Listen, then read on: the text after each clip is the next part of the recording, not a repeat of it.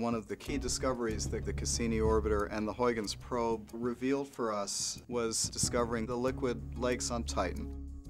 Cassini was able to look at the lakes, get a sense of the coarse composition of the lakes, but nothing about the organic molecules that are dissolved in the lakes.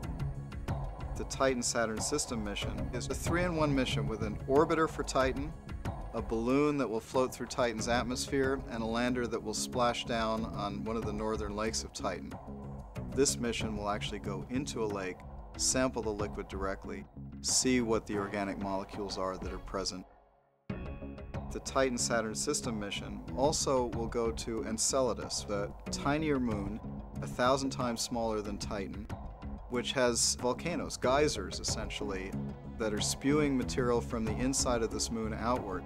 And it's a chance to see whether there might be molecules that would indicate that life has actually formed within the source region of these geysers.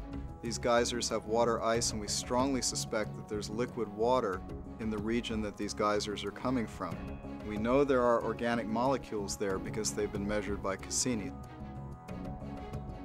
the ability to follow this up quickly is essential because with Cassini-Huygens, we have now trained a generation of scientists who are ready to take a new generation of instruments and capabilities back to Titan and Enceladus and really answer the questions that Cassini-Huygens has left for us. And that continuity of, of knowledge and of enthusiasm is essential and very difficult to maintain in the outer solar system because trip times are so long the Titan Saturn system mission really is Jules Verne realized. It's a kind of planetary exploration that we have never ever done before anywhere else in the solar system and can only be done on Titan.